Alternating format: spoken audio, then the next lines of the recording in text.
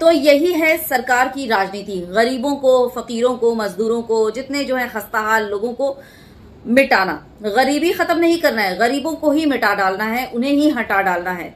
एक तरफ़ गरीबों और झोपड़पट्टियों वालों और जो है भिकारियों वगैरह को उनको जो है जगह खाली करानी कराई जाने की बात की जा रही है। उनके खस्ताहाल को पर्दों से ढका जा रहा है और दूसरी तरफ़ मोदी जी अपने मेहमानों के लिए सोने चांदी के बर्तन और थाल वगैरह का इंतज़ाम कर रहे हैं। तो बोलने का मतलब ये कि पर्दे के पीछे के जो गरीब जनता है ना, वो सिर्फ़ ताली और थाली बजाने के लिए रह गए बाकी सोने और चांदी की थाली और प्याली जो है वो सिर्फ़ मोदी जी के आने वाले परदेसी मेहमानों के लिए स्पेशल मेहमानों के लिए ही है। वैसे जी ट्वेंटी के मौके पर अमेरिकी मीडिया ने, मोदी जी और बाइडन से सवाल करना चाहा। बाइडन तो राज़ी हो गए अमेरिका वाले, लेकिन हमारे भारत भारत वाले जो थे मोदी जी, उन्होंने साफ़ इनकार कर दिया कि अमेरिकन मीडिया को वो कोई भी इंटरव्यू नहीं देंगे, कोई भी सवाल पूछने से साफ़ मनाही कर दी और उन्हें परमिशन नहीं दिया। आखिर समझ नहीं आता कि ये भारत वाले सवालों से इतना डरते क्यों हैं? ये मैं नहीं कह रही, ये जो है बॉक्सर ने कहा है जाने माने बॉक्सर हैं, आप जानते ही हैं। स्क्रीनशॉट के साथ। न्यूज़ क्लिक समेत बहुत सारे जो है मीडिया मीडिया वालों की रिपोर्ट ग्राउंड रिपोर्टिंग आपके सामने है जो उन्होंने वहाँ पे गरीबों के साथ आ, साथ जाकर पास जाकर उनसे सवाल किए। उनका हाल जानने की कोशिश की। वैसे आप लोगों ने तो देखा है लेकिन फिर भी एक बार आपके सामने घंटे के चक्कर में बोरे खाली कर दो सफ़ाई करना पूरा। इसके मतलब ना गरीबों को हटा के सफ़ाई करेंगे। हमारी कमाई तो है नहीं है कि कमरा किराया दे पाए। इधर बच्चों का स्कूल का नहीं नुकसान होगा नहीं। हम पच्चीस तीस साल यहाँ पर रह रहे हैं। और ऐसे अचानक हमारे घर तोड़ देगा। तो हम कहाँ जाए? कुछ सुविधा नहीं कुछ रहने का पता नहीं कुछ आता नहीं।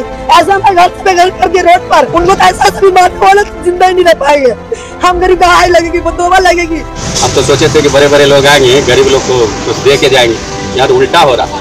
बड़े लोग आएँगे हम लोग को जो है कबर पे बैठ के खाना खत्म हो जाएगा उसके बाद आके रहने लग जाना आप हैं? नहीं तो अभी यहाँ से नहीं हटोगे तो आपको मार के हटा दिया जाएगा नहीं तो यहाँ से। पुलिस वाले ये बोल रहे हैं कि परसों तक यहाँ पर दिखाई मत देना। कोई भी। कहीं भी जाओ, चाहे अपने घर जाओ, कहीं भी जाओ, मगर यहाँ दिखाई मत देना दिल्ली में। दिल्ली पूरी बंद है अभी। अगर पुलिस वाले, अगर नहीं, हम हटेंगे यहाँ से तो मानना चालू करेगी पुलिस वाली। और हम लोग यहाँ सोते तो उस पर भी पुलिस वाले आगे तंग कर रहे हैं, भैया, आप लोग खाली कर दो, यहाँ सोने नहीं मिलेगा। तो आप लोग अब क्या कर सकते किससे लड़े? कहाँ जाए? सरकार तो हमारी साथ देख लिया वीडियो, यानी कि गरीबों और भिकारियों को डरा धमका कर जगह को खाली करने को कहा गया। यहाँ तक कि पुलिस भी आकर उन्हें धमका कर गई कि अगर जगह खाली ना किया गया तो उन्हें उठा उठा कर जेल में डाल दिया जाएगा। और बहुत सारे तो ऐसे गरीबों को जेल में ऑलरेडी डाला जा चुका है। यहाँ तक के लोगों से ये भी कहा गया कि आप दो तीन दिन दिन के लिए यहाँ से पूरी तरह से गायब हो जाओ। ये कभी पॉसिबल हो सकता है। जहाँ लोग रह रहे हैं, जहाँ लोग अपना बसेरा जमाए हुए हैं, उसको दो तीन दिन के लिए छोड़ देना।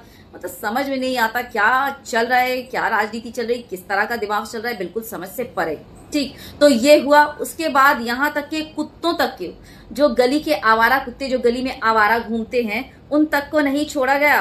और उसकी जो है वीडियो कुत्तों के साथ जिस तरह का बर्ताव किया गया, वैसे मुझे कुत्तों से कोई प्यार वार है नहीं, जो मुझे वो दुख हुआ, ऐसा कुछ नहीं। लेकिन कुत्तों के साथ भी इतनी बेरहमाना तरीके से, क्योंकि ये लोग जानवर वाला प्यार दिखाते ना, ईद उल जुहा के वक्त हाँ जानवरों को ये लोग, हम लोग जो है, वो करते हैं, ये करते हैं, दुनिया भर की बकवासबाजी होती है। हाँ तो उसी को मद्देनजर रखते हुए मैं ये बात कह रही हूँ। कुत्तों को पकड़ पकड़ कर उनके हाथ, पैर, मुँह वगैरह सॉरी, हाथ तो कुत्तों के होते नहीं हाँ उनके चारों पैर और मुँह वगैरह बाँध कर उनको किस तरह से डाला गया, उनको भी जेल में पकड़ पकड़ कर बंद किया गया और किस तरह से बेरहमी से यहाँ से वहाँ उठाकर उनको पटका गया। खैर, वो वीडियो मैं नहीं दिखा सकती, ठीक है ना? वो एनिमल रूल का कुछ वायलेशन हो जाएगा, वो एनिमल अब्यूज करके कुछ मेरे ऊपर लगा देंगे तो भैया मुझे ज़रूरत नहीं है उतनी की। तो इसलिए आपको वीडियो नहीं दिखा रही क्योंकि बहुत ही बर्बरता, चाहे वो कुत्तों के साथ ही हो रहा है, लेकिन बहुत ही बर्बरता वाली थी। तो इसलिए चंद स्क्रीन ही लगाया है मैंने, आप देख ही रहे स्क्रीन चल रहे हैं।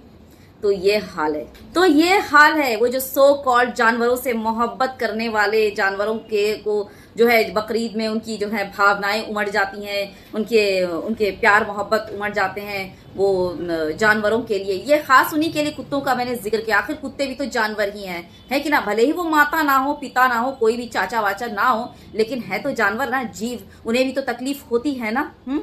होती है ना? हो रही होगी ना? तो बस उन्हीं लोगों के लिए ये मैंने कुत्तों वाला वीडियो दिखाया बाकी, और मेरा ऐसा कोई इंटेंशन कोई रीजन नहीं था। ना मुझे कुत्तों से कोई प्यार वगैरह है। तो बस वीडियो शेयर कर दीजिएगा। तब तक take good care of yourself जय हिंद। अल्लाह हाफिज।